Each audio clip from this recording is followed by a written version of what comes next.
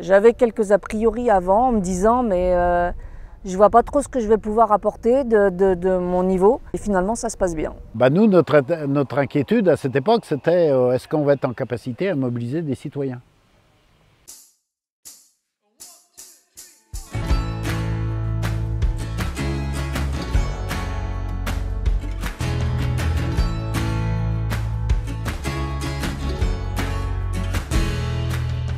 De toute façon, dès le départ, on n'y connaissait rien. Enfin, moi, je n'y connaissais rien du tout. On était euh, complètement euh, à la ramasse, comme dirait l'autre, euh, pour, euh, pour tout ce qui était euh, organisation euh, d'un tel dossier. Heureusement qu'on n'imaginait pas tout ce qu'il y avait à faire, il faut bien être honnête. euh, il y a une part d'aventure, mais qui aujourd'hui est aussi une source de satisfaction. Quoi. Il n'y a rien qui me prédestinait avant à devenir président de- d'une SAS citoyenne qui, qui gère un parc éolien. Euh, voilà, c'est aussi simple que ça. Quoi. Et puis, on était tout un groupe aussi euh, très soudé qui, euh, qui avons démarré le projet et euh, on s'est entraînés les uns, les, les uns aux autres. En tant que président, le- la mission, c'est de créer un groupe, de créer une dynamique pour que tout le monde aille dans le même sens. Les compétences sont, sont venues au fur et à mesure. hein. Il n'y a pas que le président, il y a, on est une vingtaine de membres.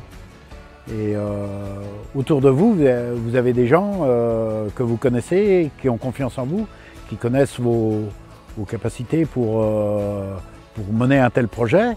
Et ben, vous en parlez d'abord autour de vous, et puis après, on- on verra. J'étais habitué à être dans des milieux associatifs où on se retrouve vraiment tous autour d'un projet, où on est, euh, il y a un peu un entre-soi, on est tous d'accord, on est tous sur le même projet. Et là, en fait, c'est un projet où les gens peuvent venir de plusieurs euh, univers. Donc il y en a qui viennent pour le côté vraiment écologique, il y en a qui viennent parce que c'est un projet de territoire qui regroupe des gens. Il y en a qui en fait sont plutôt à la base peut-être investisseurs et qui se disent bah euh, faut peut-être que je donne un sens différent à mon argent. Et donc on a un public vraiment très divers. Et donc on apprend à discuter avec des gens qui n'ont pas forcément les mêmes opinions que nous, mais on se retrouve quand même sur quelque chose de commun. Et je trouvais que c'était une belle occasion de rencontrer des nouvelles personnes que j'aurais pas rencontrées autrement. Même en retraite, je n'ai pas envie de déménager. Je suis toujours à 500-550 mètres de l'éolienne la plus proche et la plus éloignée à moins d'un kilomètre. Donc je suis vraiment en dessous. Quoi. Mais bon, le fait qu'elle nous appartienne euh, est vraiment pas une nuisance. quoi. C'est le jour où elle ne tourne pas qu'on trouve, ça- on trouve ça dommage. Nous. Puis que ça tourne euh, mieux que c'est, comme dirait l'autre. Après, euh, c'est quand même un investissement d'environ euh, 12 millions de- d'euros. hein. C'est pas, c'est pas une paille. hein. On ne gère pas ça comme on gère euh, un budget euh, ména- ménager. hein. La première réunion publique qu'on a eue, on avait entre 90 et 100 personnes qui étaient là. Tous n'étaient pas d'accord, tous n'ont pas conclu, mais voilà, quelques mois après, ben, euh, il y a 154 personnes qui ont signé un chèque, et puis après il y a d'autres qui ont tapé à la porte, et puis on est arrivé à 222. La grande satisfaction, c'est qu'on est euh, parmi ces 264 associés, 25% de jeunes de moins de 35 ans. Parce que c'est eux qui seront là demain. hein. C'est un projet sur du long terme. On parle d'un projet de 20 ans minimum. Donc dans 20 ans, voilà, on aura besoin des jeunes d'aujourd'hui. Et puis l'autre satisfaction, c'est qu'il y a un tiers des associés qui sont des femmes.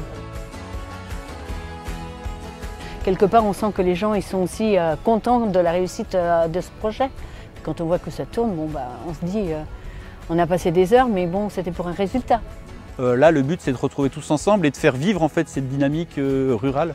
Donc oui, c'était vraiment important de le faire euh, sur le territoire. On a multiplié les réunions un petit peu sur tout le territoire et notre volonté aussi c'était qu'il n'y ait pas un citoyen du, du- du- du territoire qui nous dise après Ah oui mais moi je savais pas, j'aurais bien aimé quoi. Ça, ça a été une grande satisfaction de notre part de réunir des gens qui ne se connaissaient pas forcément d'avance et qui aujourd'hui sont amis, on peut dire, par le projet. Le but, là, en étant des citoyens locaux qui sommes euh, les porteurs du projet, c'est d'être en relation aussi avec les autres, euh, les riverains.